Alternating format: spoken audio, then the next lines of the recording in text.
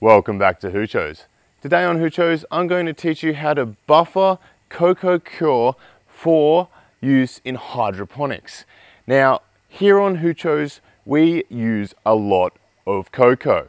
I use it in this super simple strawberry system, in my rain gutter grow systems, in my auto refilling potted plant systems, as well as my float box and dragon fruit hydroponic systems. Now, most of my coco that I've used so far on the channel is a bagged hydroponic grade of coco that I get from a large box hardware store that's close by to me.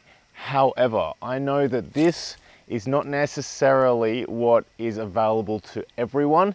It depends on your country, in your location in the world. Coco is generally available to everyone. However, it may be that it's cheaper for you to access the unbuffered and unwashed version of the substrate. Even for me, getting my hands on the ready to use hydroponic grade of coco is hard. So every time I see it in my local store, I buy their whole pallet, their whole stock of the product. And that means that everyone in my area is also dealing with a shortage of coco. Sorry about that. So before we get started, I just want to explain what coco is, where it comes from, and some of its beneficial characteristics for its uses within hydroponics. Coco peat, also known as coconut fiber, coir, coir pith, or coir dust, is an organic planting media made from coconut husks that surrounds the shell of the coconut. Generally, coco peat contains high potassium, sodium, and EC, but the concentrations vary with sources as it is an organic growing material. The husks are used to produce various types of growing substrates, including coco peat, chips, and chunks. The importance of coco peat in hydroponics cannot be overemphasized as it has an ideal pH, has a more than 22% air holding capacity, and has excellent drainage properties. Its antifungal properties help plants get rid of soil-borne diseases and it is 100% renewable, easy to hydrate, and is environmentally friendly if sourced from properly managed plantations. Coco peat has a naturally high cation exchange capacity. Now this is good because it can hold onto and make available nutrients to the plants when needed. However, it can also work against us in hydroponics by removing nutrients from the solution that we would rather have available to the plants. Therefore, we need to buffer the coco in order to make sure that the nutrients that we're adding in to our hydroponic systems aren't going to be sequestered into our cation exchange sites on our coco. So today I'm going to be showing you how to buffer this. This is unbuffered coco coir that is available from most nursery supply stores. Now you can get unwashed and unbuffered coco blocks that just require a wash before you get to this stage that I'm at now. So if you only have the blocks available, wash them with water first, getting all of the really fine particulate out, and then you'll be at the stage that I'm at. Okay, so first let me explain why we buffer coco. Coco has a high CEC, which means it has a high cation exchange capacity.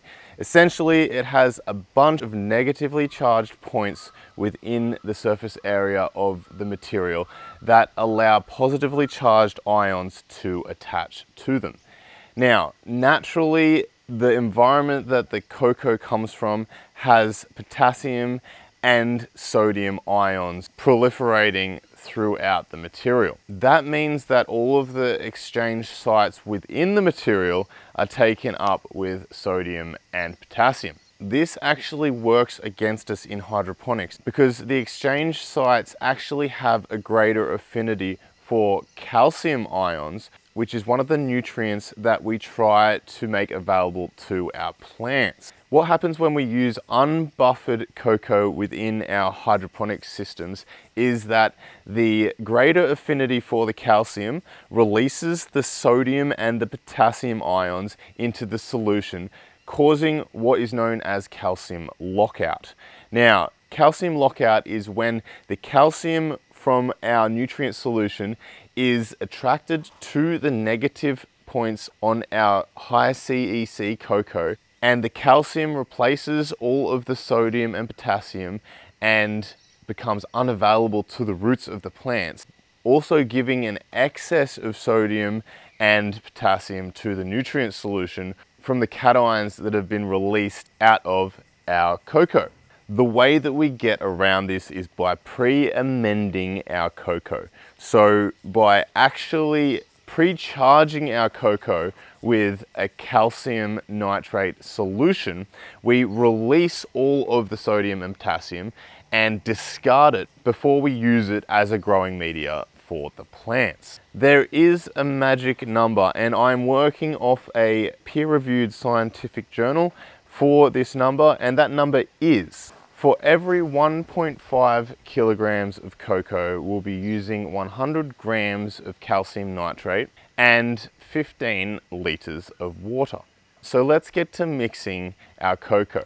And for this, I'm going to be using this cement mixer. This cement mixer is brand new, has not had anything in it before. To this, I'll be adding my coco. Now here I have 22 kilos of coco and I'm going to be adding 5.5 kilograms to my mixer so that I only have the mixer half full and I can turn over the coco to mix it. So 5.5 kilograms of coco. To this 5.5 kilograms of coco, I'll be adding 55 liters of water and 350 grams of pre-mixed in hot water calcium nitrate. And of course, the calcium nitrate is the nitrocal part of our hydroponic nutrient. So if you're using dry nutrient, like I am, the calcium that we're using to buffer our coco is generally the calcium half, the part B of our hydroponic nutrient. And now I'm just going to mix that up.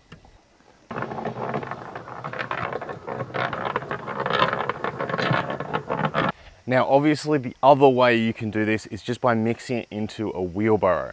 And you can just use a shovel to mix the buffered solution.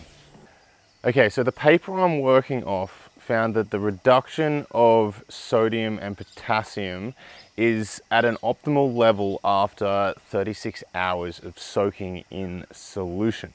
So I'm gonna leave these to sit for 36 hours and that is going to give me a 78% reduction in potassium and a 94% reduction in sodium that is on our cation exchange points within our coco media.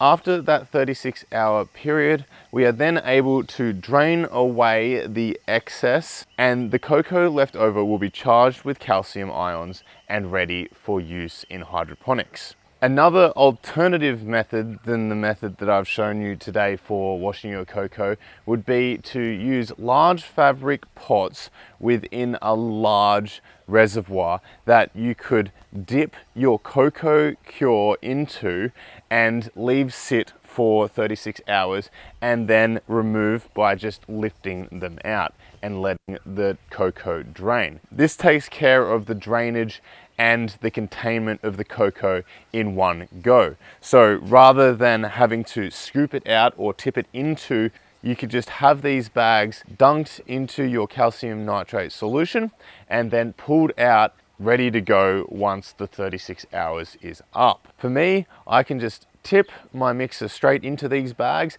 and the solution will run away and I can also tip my wheelbarrow straight into these bags as well. Once you've drained away all of the excess solution, you can then add in your other amendments like perlite or peat moss if you want to create a custom mix for your hydroponic system. When using this coco in whatever system you're putting it into, it's best to flush the whole system with water and then you can charge it with your nutrient solution and start growing.